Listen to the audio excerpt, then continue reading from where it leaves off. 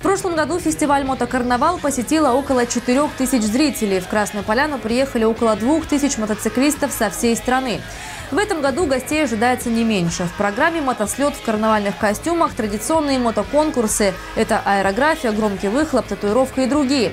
Мото-джимхана – одна из самых ярких частей программы. Это соревнование по самому быстрому маневрированию на асфальте. Также в рамках мотокарнавала 2015 пройдет открытый чемпионат по эндуро. Это езда на мотоцикле по пересеченной местности. Ожидаются спортсмены со всей страны, а также из стран ближнего зарубежья. Среди участников и профессионалы, и ветераны спорта, и любители. У нас будет больше ста человек, что э, намного превосходит даже чемпионатов России, я вам скажу, в некоторых регионах. Ребята будут с Москвы. Ребята, у нас команда в том году выиграла команда Ялты. Они увезли с собой переходящий кубок.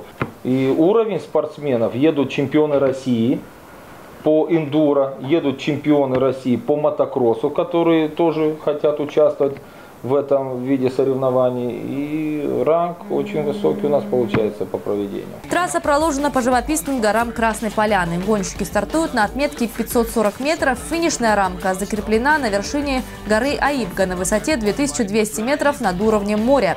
Также в рамках мотокарнавала в Красной Поляне финиширует пробег 1000 миль за 24 часа. Все участники, сдавшие норматив, получат сертификаты и памятные подарки. Фестиваль в этом году будет идти почти целую неделю, с 11 по 16 августа.